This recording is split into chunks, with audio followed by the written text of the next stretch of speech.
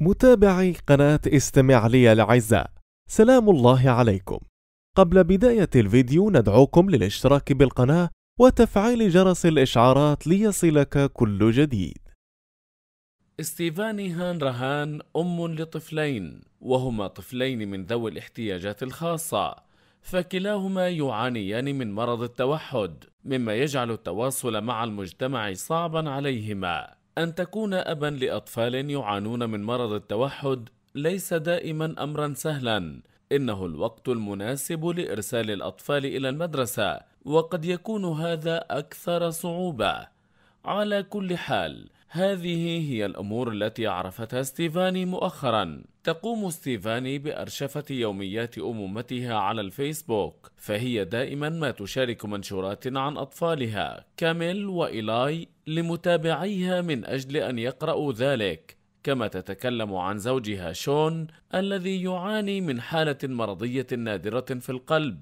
حساب الفيسبوك يحمل اسم الرنين أو السراويل لأن ستيفاني قالت أن بعض الأمور التي تكتبها تجعلها تضحك بأعلى صوتها وتكاد تموت من الضحك. على الجزء الشخصي من صفحة ستيفاني على الفيسبوك كتبت زوجة لرجل مريض وأم لطفلين من ذوي الاحتياجات الخاصة. امرأة أنشأت صفحتها الخاصة على الفيسبوك والآن لا تسرب شيئا غير الحقيقة. قصصها كانت دائما مثيرة للانتباه والآن هي تقوم بأمور مهمة. في فبراير من العام 2019 أصبحت كاتبة مساهمة حتى هذا اليوم. قالت بأنها لم تتخيل أن يكون لصفحتها الخاصة كل هذا التأثير على حياتها. وأضافت أن الأشهر الخمسة الأخيرة التي مرت كانت من أكثر الأوقات حرية في حياتها. قالت ستيفاني بأن حياتها مهددة لتصبح أكثر صعوبة وهذا لأن أطفالها كأنهم في منطقة رمادية فهم ليسوا طبيعيين لتكون لهم حياة اجتماعية طبيعية لكن في نفس الوقت هم ليسوا عدوانيين لدرجة الالتحاق بمراكز المساعدة. قالت ستيفاني بأن المراكز تكون ضيقة عندما يكون أطفالنا هم النتوء البارزة. لذا فهي تكافح لوحدها من أجل أطفالها كما قالت أنها لا تمانع أن تكون كمحامي لأطفالها. وفي صفحتها على الفيسبوك ذكرت ستيفاني قيامها ببعض عمليات إجهاض قبل أن تلد طفليها. كتبت عن الألم الذي يسببه الإجهاض والأحاسيس التي يتركها. قالت بأن فقدانها لطفلين كان من بين الأشياء الصعبة التي كان عليها معايشتها وقامت بنشر هذا المنشور في يوم الأم.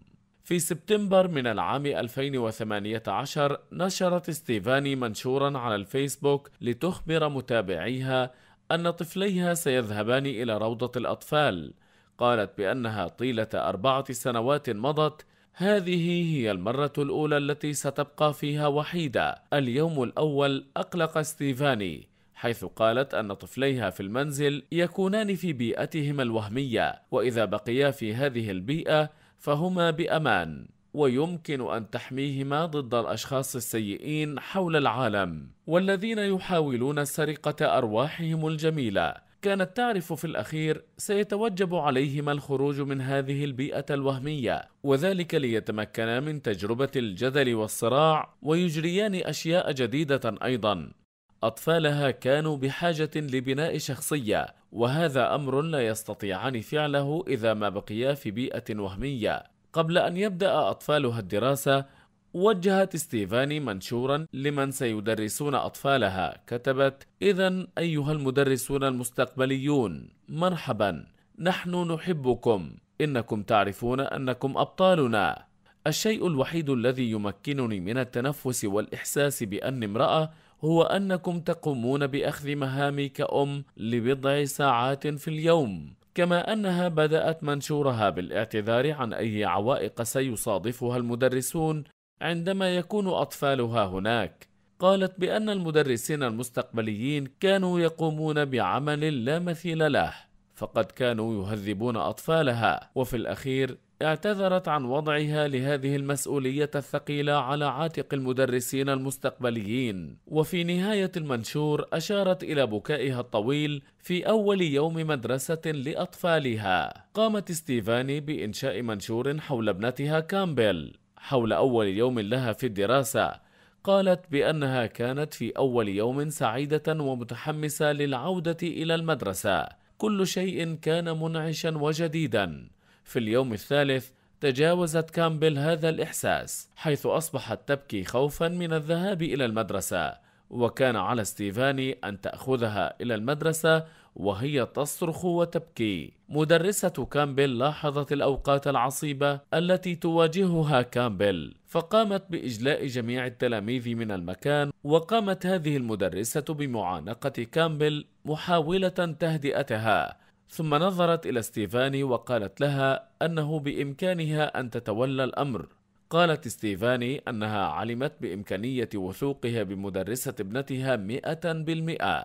وضعت ستيفاني ثقتها في أساتذة أطفالها لاستقبالهم لهم طول اليوم ولم يخب ظن المدرسين أيضا. قامت كامبل برسم صورة لها وهي ترقص مع مدرستها حيث قامت المدرسة بأرشفة هذه قائلة كنت جدا خائفة من الرقص بدون الآنسة كارولين لدى رقصنا معا وقامت بنشر ذلك على الفيسبوك.